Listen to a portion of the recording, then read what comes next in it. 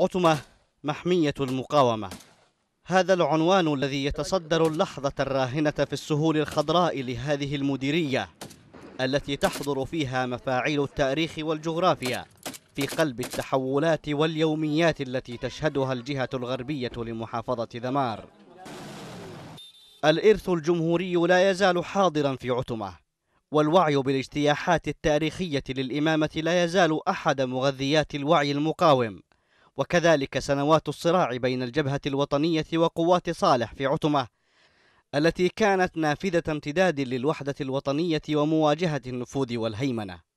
منذ الانقلاب والاجتياح لم تكن عتمة لقمة سائغة في فم الميليشيا ولم تكن نزهة آخر الأسبوع للانقلاب بحسب وصف قائد المقاومة الشعبية هناك. وأنكم كنتم تظنون أنكم ستأتوا إلى عتمة لقضاء نزهة آخر الأسبوع.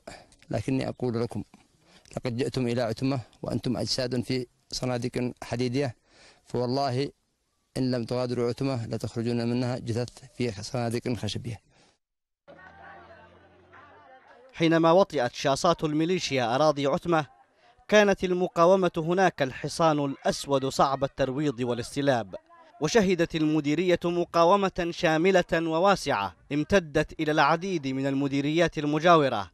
كالقفر في محافظة إب وأسفرت في نهاية المطاف عن تراجع للميليشيا وإبرام اتفاق يقضي بانسحاب الميليشيا.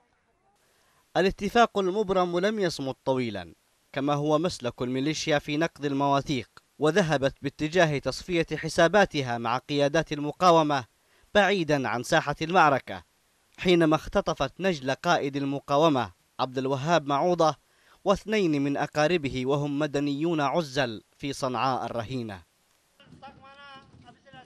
ردة الفعل المتوقعة كانت من قبل المقاومة حينما أعلنت أن عتمة منطقة مواجهات مفتوحة خصوصا في المساحة التي لا تزال تحت سيطرة ميليشيا الحوثي والمخلوع.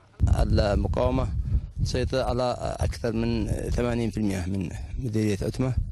وحتى ال 20% الباقية هي خاضعة لسلطة الأمر الواقع بالنسبة من قبل الحوثيين لكن عتمة من حيث المبدأ ترفض رفضا قاطعا وجود مثل هذه الميليشيات في أوساطها.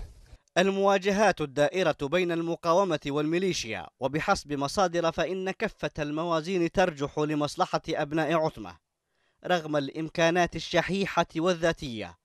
حيث تمكنت المقاومة من تحقيق ضربات نوعية في أوساط الميليشيا وأسر العديد من القيادات الميدانية للحوثيين هناك كما هي تأكيدات المقاومة.